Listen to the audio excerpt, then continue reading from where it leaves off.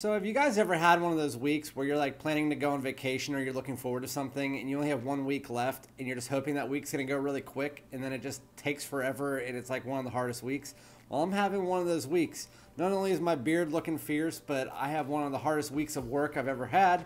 Before this video, I was yawning so much that my eyes were watering, so I just need a little pick me up, and I have that in the form of your collections. So I told you guys that I was going to be reviewing your collections, and I actually received quite a bit of them, a lot more than I expected to. And so I'm going to be doing a two-part series. Uh, this one's coming out this week. It's going to have 14, and next week's going to have a couple more than that. Uh, it's going to both be on Saturday. So in this video, again, I'm going to be reviewing your collections, letting you know what I think about them, which fragrances that I like, and maybe doing a little bit of roasting if there is something to roast. I haven't looked at them yet, but without further ado, let's get them.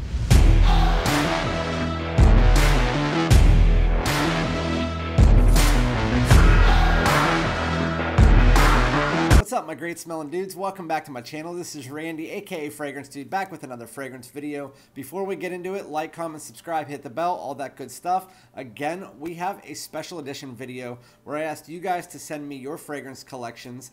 Uh, and honestly, I had a huge turnout. Uh, I had about 40 different collections sent to me. So I'm doing this in two parts. One is going to be today and one is next Saturday. I'm doing them in, in the order in which I received them. And I'm going to be doing about 15 to 20 in each one. I already tried doing this once. I got to one person's collections and I was at about eight minutes. So I'm to try to pick and choose which fragrances I choose on these. But without further ado, I'm to get straight into this so I'm not wasting any more of your time. I'm not going to be reading the emails because most of them were just praising me, saying how amazing of a dude I am and how much you like my content. So I appreciate the kind words and let's get right into it. First, I'm to put his whole collection up here. It is from T-Frag. You guys know him if you watch my channel. He's the one who sends me a lot of the different fragrances that I review on my channel. If I don't have them, a lot of niche, a lot of indie, stuff like that. So thank you to him. And then I'm to break it down to five different parts of uh, his collection. The first one here is going to be um, where he has, if you see down in the middle, he has that credit card looking thing by Philipp Plein. I haven't tried it myself, but I'm really interested in trying it. To the left, you have a bunch of the uh, Boss Bottles and the Scent Private Accord, which is a great chocolatey fragrance. Absolutely amazing. Up top, you have your Parfum de Marly, uh, Pegasus, Layton, uh, and then I believe that is Layton exclusive. I can be wrong. It's a little bit cloudy. And then all the way to the right, you have like Initio. You have two Initios. I believe one's Oud for Greatness and one Side Effect, but I know one Side Effect. I'm not sure about the Oud for Greatness. The next one we have right in the middle at the top we have your Goldfield and Banks, you have Bohemian Lime and Pacific Rock Moss, and then right next to those, you have 2-6 Elixir and one of my favorites of the year, Southern Peach Tea, both by Coastal Carolina Parfums. If you haven't tried them and you like peach fragrances, uh, that's a fantastic one. And then on the left, you got some of your heavy hitting Chanel's, the Edition Blanche, one of my favorites. And then you got a lot of crazy uh, designers right below. Ralph Lauren, Ralph's Club, Versace Fresh. Then on the next one, we have uh, Jet Black, which I'm not a big fan of, by Michael Malone. We have your Gentleman Javon. A lot of the new releases out this year. Uh, Gentleman Reserve Privé, which I'm not a huge fan of because it smells like all the other ones in the line, like Parfum and Boisée. Then you have one of my favorite, if not my favorite release of the year, Most Wanted Parfum. And then Valentino Coral Fantasy, which is like a candy apple. Then we have some niche. We have a bunch of uh, Manceras on the left, and then Juliette has a gun. I haven't tried any of them on the right. Tom Ford Ombre Leather, which I hate. And then behind that, we have a bunch of Montales, which I have not tried either. Mon uh, Manceras I've tried, but I can't see the names on there, so I don't know which ones exactly he has. And then we have a few other designers like Stronger With You and Viktor and Rolf Spice Bomb, as well as a few clones there as well. But thank you so much, T-Frag. I really appreciate it. Uh, so again, we have one of the things that he had there. This is going to be in a few of the other um, collections as well. My favorite release of the year, Most Wanted Parfum, Ginger, Bourbon, Vanilla. It is a great fall and winter time. It is uh, nice and gourmand, yet it's a great date night fragrance and it lasts a long time as well. The next person is another one you guys know that sends me a bunch of stuff.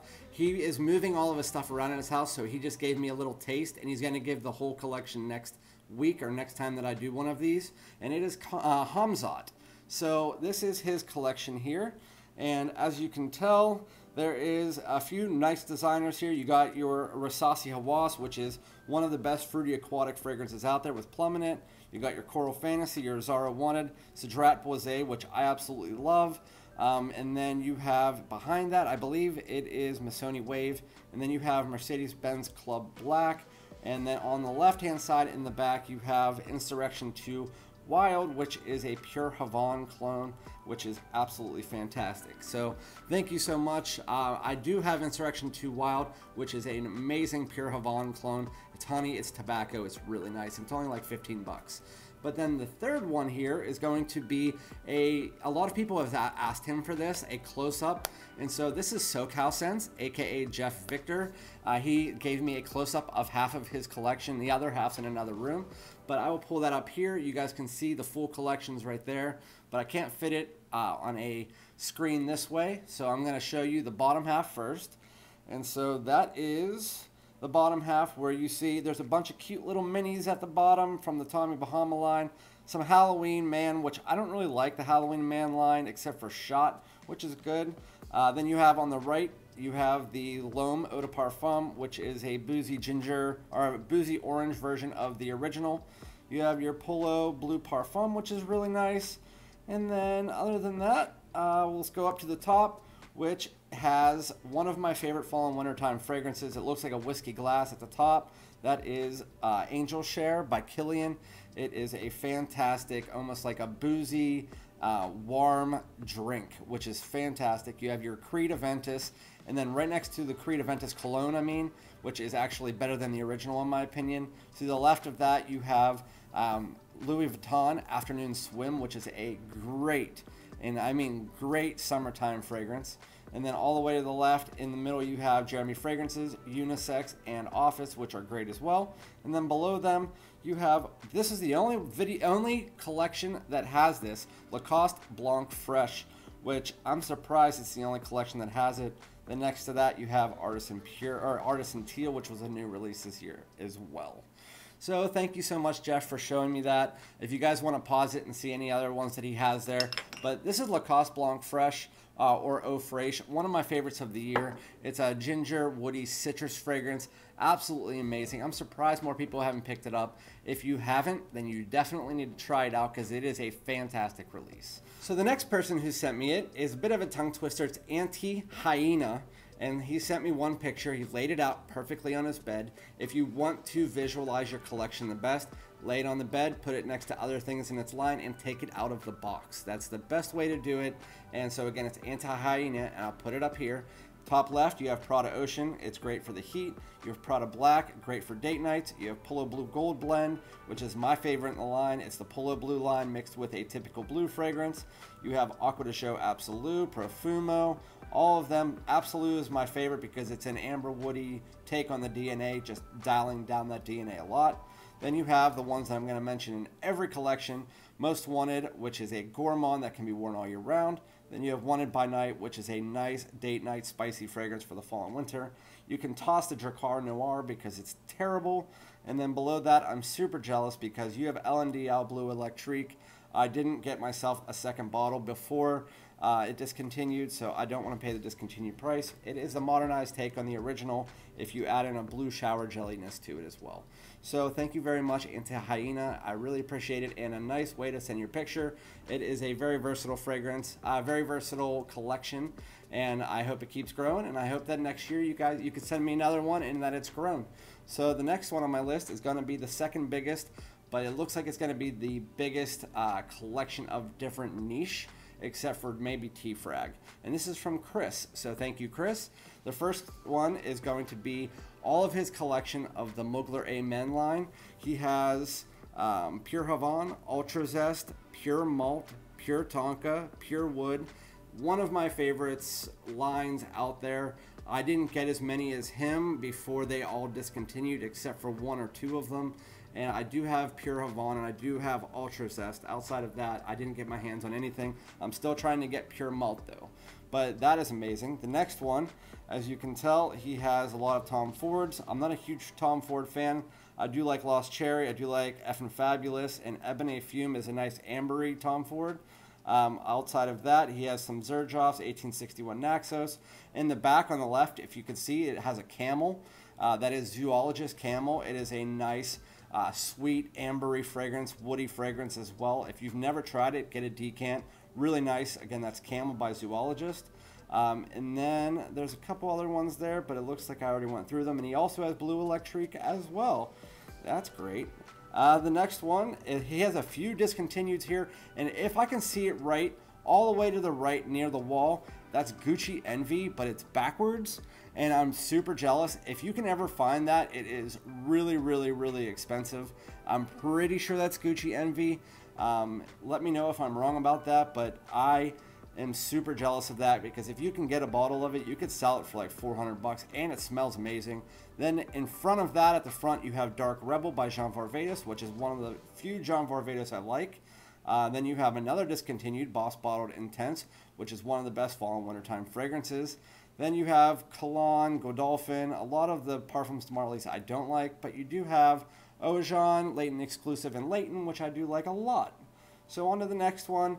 This is like his Island of Misfit Toys. He, he put all of his designers. It looks like he's not a huge fan of over here. Although I do have to say, I like how that Boss Bottled is just about empty. I love my Boss Bottled. And then you have your L'Homme Ideal Colognes on the right-hand side. And then you can toss the Machine, Moschino Toy Boy because outside of being a conversation starter, I absolutely hate that fragrance. But then there's one more. He has a bunch of Mancera's. Instant Crush is Mancera's take on kind of like a Baccarat Rouge 540 type fragrance, but it's I actually like it better than Baccarat Rouge 540. And then up on the wall to the right, you have Enigma, which is Enigma in Europe, and it's Creation E here. Not a huge fan of it by Roche and Dove. I do like Vetiver and all of those, but Enigma, Enigma is not one of my favorites.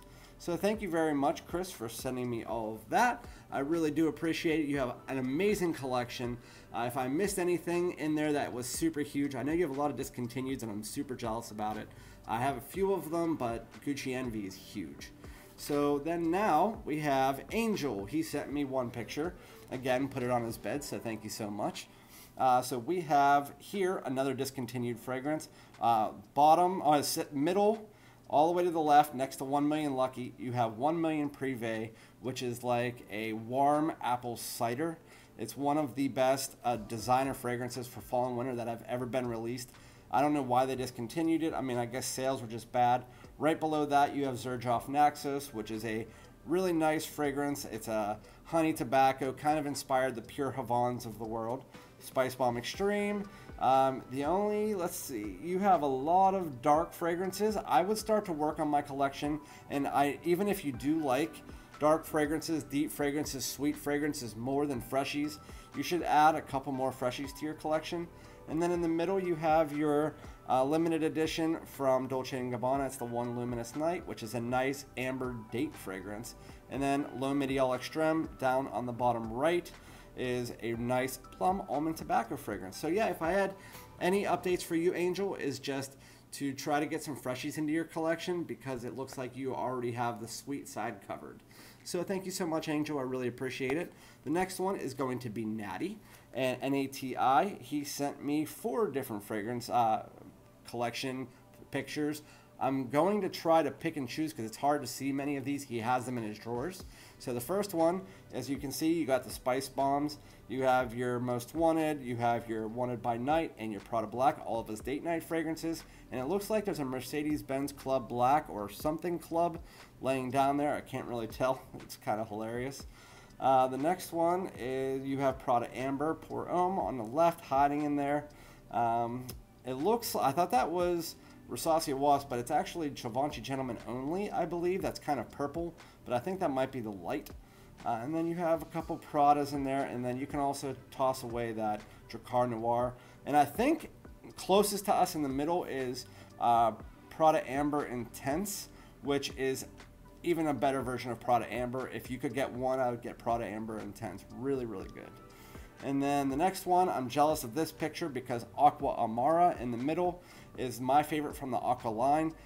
It's discontinued now, and if anybody knows anything about Aqva Amara, if you liked it, then try Mancera's Aqua Wood. It's not discontinued, it's still a good price, and it smells very similar to Aqva Amara. It's like a citrus, ambery, aquatic fragrance, and it's really good. So then we have this one last picture. He sent me the boxes of his niche. He has Percival, uh, Layton, Pegasus, and Greenley, which is really good. Some Tom Fords, and then on the right you have Xerjoff 1861 Naxos as well. So thank you very much, Natty. I really appreciate it. Really nice collection. You got all of your bases covered there. Um, you might just want to invest on getting a nice shelf or something instead of having them all pushed in your drawers. Um, but all, whatever works for you. I mean, it's still going to be in the dark. It's still going to be cool. So the next one on my list is Thomas, who sent me one picture. And let's see where his is. There it is. And so we have the CDNIMs on the top, which I absolutely despise. I do like Sillage, which is next to that though. On the top right, second one over, you have Dior Homme Intense, which is my favorite Dior Homme. Uh, you have YSL Y Le Parfum. Right below that, you also have Prada L'Homme Intense, which is my favorite Prada L'Homme. It has that iris, it has that uh, nice little leather note in it. It is really good. You have the Prada Amber Intense to the left as well. Really good, like I said in the last one. Let's see, uh, Most Wanted Parfum, obviously, bottom left, fantastic. So, yeah, you got all your bases covered with this one as well. It's a really nice collection, really versatile. You have some good ones, and you. I also saw Afnan 9 p.m. If you guys don't know, Afnan 9 p.m. is a clone of Jean Paul Gaultier's Ultra Male, which does it almost perfectly. If you want to try that out, it's really good. Uh, the next one on my list is going to be Joshua, and Joshua sent me his. It looks like inside of like one of those bathroom cupboards. Um, and if you actually look at the second picture when I show it to you, it looks like the one shelf is breaking, so you might want to invest in a better shelf there, Josh. So the first uh, picture, as you can tell, you have a Allure Homme Edition Blanche next to the original Allure Homme Sport. Uh, Edition Blanche is like a lemon cream pie, fantastic. Stronger with you, very good fragrance. And then we'll go to, we have Light Blue Eau Intense, which is also really good. My favorite summertime fragrance. Then on the second level, we got always test before you buy. So good job, Josh. You got some testers down there. Really nice. And then you have your Bleu de Chanel, your L'Homme Ideal Cologne, which is a nice almond fresh fragrance. And then you got your Dior and your Louis Vuitton Lemon City, which is a fantastic fragrance. It's like an ambery citrus, really, really good fragrance for the spring and summer. You can even wear it into the fall as well. I love L'Immensité. If Louis Vuitton is an underrated brand, probably because it's really hard to get and they only sell it at Louis Vuitton. But uh, yeah, you might want to in invest on a uh, new shelf because it looks like yours is about to break. But yeah, really nice. I really appreciate it, Josh, for sending me that. So we have three collections left for this week, and so now it's going in. If you ever want to sell your empty box on eBay, I bet you that this is the guy that buys it. And it is Daniel, and he also has a bottle of Mont Blanc Legend Spirit. All jokes aside, he was put in the boxes here. But next time, Daniel, if you want to get them so it's easier to see, the bottles are always the easier ones to see than the boxes. I'm guessing he keeps the bottles inside the boxes, though. With that said, um, he has some cremos that are really catching my eye. If you guys don't know, cremos are a fantastic brand that you can buy at Walmart um, that are like 13 or 14 dollars. They have ones that smell like Spice Bomb Extreme, uh, really good ones that like their reserve collection. Uh, if you ever want to try it, it's really good. He also has CK Shock in here, which is a really nice cheapie from the CK house, which I don't really like CKs, but I do really like that one. Star Walker Extreme. He also has uh, some of those uh, private line of Banana Republics, which I got a bunch for $16 the other day. I got Vintage Green. I got, uh, if you can see on this page, there is Tobacco and Tonka Bean. And then he also has Star Walker Extreme, the new Star Walker, which is like almost like a coach for men. Really good. He got the YSL Ys, the Invictus uh, Victory, which is a really nice fragrance as well. So yeah, really nice. Again, it's really hard to see, and I don't know. It's hard to pick out the boxes, but thank you very much, Daniel. I really appreciate it. I see that you do have a lot of boxes and colognes there, so I do want to put point these out. He had two of these. Uh, one is Banana Republic's. I did this on a doing this on a video next week. A fragrance haul, Banana Republic 78 Vintage Green. It's a really really nice fragrance for the spring, summer, and fall. And then you have this, which is even better. It's tobacco and tonka bean. These this collection I never even heard of until I saw it at Burlington. Really good. They also have one that's dark cherry and amber. I can't wait to pick up and try that either. So with that said, um, thank you so much, Daniel. The next one is one picture from Ivan. So thank you so much, Ivan. I'll pull that up here. Um, this is one that I actually wanted to say the opposite of what I said to Angel. Ivan, if I have any tips for you, you have enough warm weather fragrances now. You need to focus on cool weather, sweet fragrances, uh, dark fragrances that can be worn during the winter. The only one that it seems like you have is the um, Versace Eros Flame at the bottom. There are some that could be obviously worn during the winter, but just in just in case you wanted to have a tip, uh, you got your Pradas, Prada L'Homme, Prada Amber. Uh, you got your Versace's at the top, which are always compliment pulling. You have your Millesime Imperial a clone, which is Milestone, which is absolutely fantastic compared to Milestone. And then at the bottom, I had to cut this off, but he has two Dior Homme Originals, which is fantastic and then a Dior Homme Sport 2021 it looks like. But thank you very much, Ivan. Again, if you want any tips, just do that. Just get a few so you have them for the cooler weather because sometimes freshies just don't smell as good in the winter. But I know you have your Dior's and stuff, so maybe that's just what, what you like.